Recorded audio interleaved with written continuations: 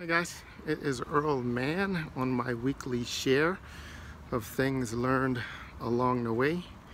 Mostly learned the hard way in the world of startups and related crazy things.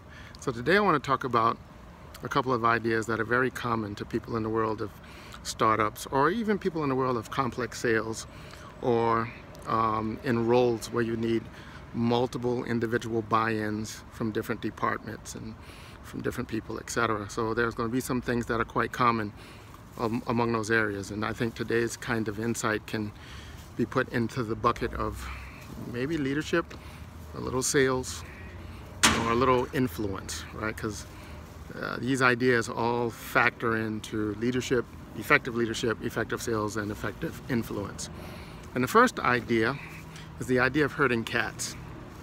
If you uh, if you're in, if you're an entrepreneur or you're in a multi-divisional, multi-input required sales cycle, then you know the concept of herding cats well. And although the herding cats may seem impossible to do, because cats are for the most part highly individual, um, very unique, and for the most part untrainable, it may seem uh, pretty impossible to herd cats. Um, the other way to look at it is that all cats are driven by internal um, instinct drives and motives, right? All cats are, are, are, are drawn towards certain things. That's why catnip works and cat litter works. And most cats actually avoid certain common things. Loud abrupt noises, um, cucumbers, apparently. if you've not seen the videos of cats and cucumbers on, on, on the internet, you have to go check those out. They're very funny when a cat suddenly walks up on a cucumber. They're like terrified. I guess they think it's a snake or an alligator or something, but it's pretty funny. My point though is that cats have these already built-in internal drives and instincts that if you can leverage them well, you can head them in the direction you want them to go. So um, many people try to herd cats by trying to force the individual to do what they want them to do and then to do that in the aggregate. And that's very, very, very hard to do. Another thing to do would be able to frame the conversation and our project in a way that you can leverage what you discover their individual built-in drives and motives to already be. And then you will find them headed down the right direction and from the outside looking in, you will be herding those cats. The second thing is uh, the idea that you can lead a horse to water, but you can't make them drink. And as true as that might be, it is also very true that if you take a horse out and you run that horse and run that horse and run that horse and run that horse, run that horse and run that horse and run that horse and run that horse, and then take them to water, you don't have to make them drink.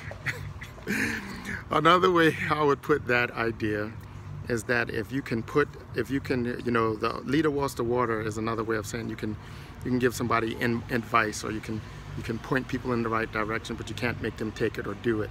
Um, so my take on that would be that the, the, the effective strategy would be to have them come face to face with the difference between what you're suggesting they do and what they are currently doing or what they just did right?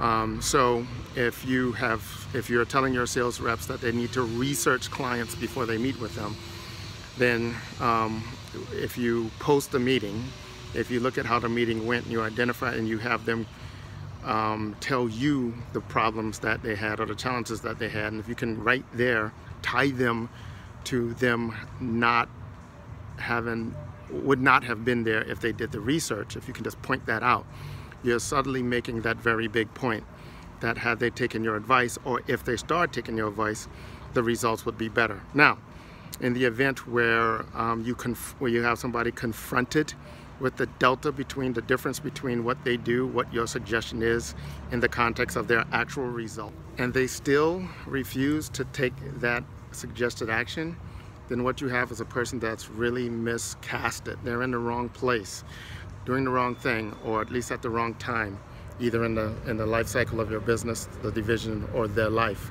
and you need to make a hard adjustment. The final thing is you can get find a way to do these two things. Um, get that horse to drink and herd those cats. Then you will essentially be boiling the ocean.